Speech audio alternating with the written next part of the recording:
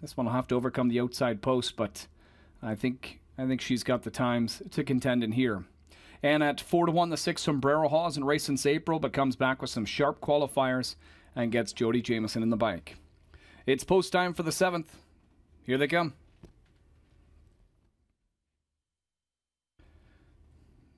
Off that's nine. Majestic Taglet. Majestic Taglet self destructs before the gate gets away.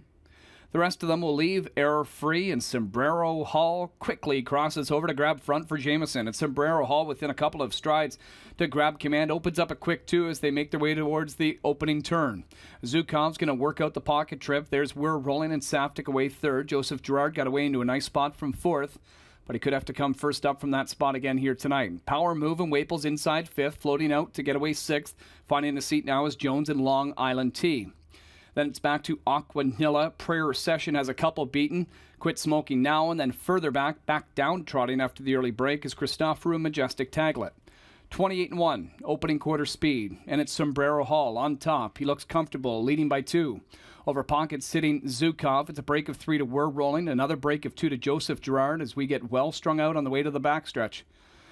Trotting fifth, that's Power Move. Tightening up from sixth is Long Island T. Half mile reached in 57 flat.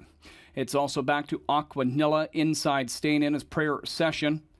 And then quit smoking now and Majestic Taglet is far back. They make their way around the final turn. They're all chasing Sombrero Hall, who looks comfortable in the return race. Zukov tightens up from the pocket. We're rolling, stays in from third. First over, here comes McDonnell and Joseph Girard. That's going to give Jones and Long Island T a nice second over trip. Now third over as McDonald pocket pulls with Zukov. 126 and three to three quarters. And it's Sombrero Hall. Still needing more on the lead. Out from the pocket is Zukov. Third over is Joseph Girard. Off stride when trying to make a move. That went Long Island T. The favorite self destructs down the stretch. It's Sombrero Hall on the lead. Lines are lifted and Sombrero Hall responds. It's Sombrero Hall. He's on top by four and he's not going to get caught.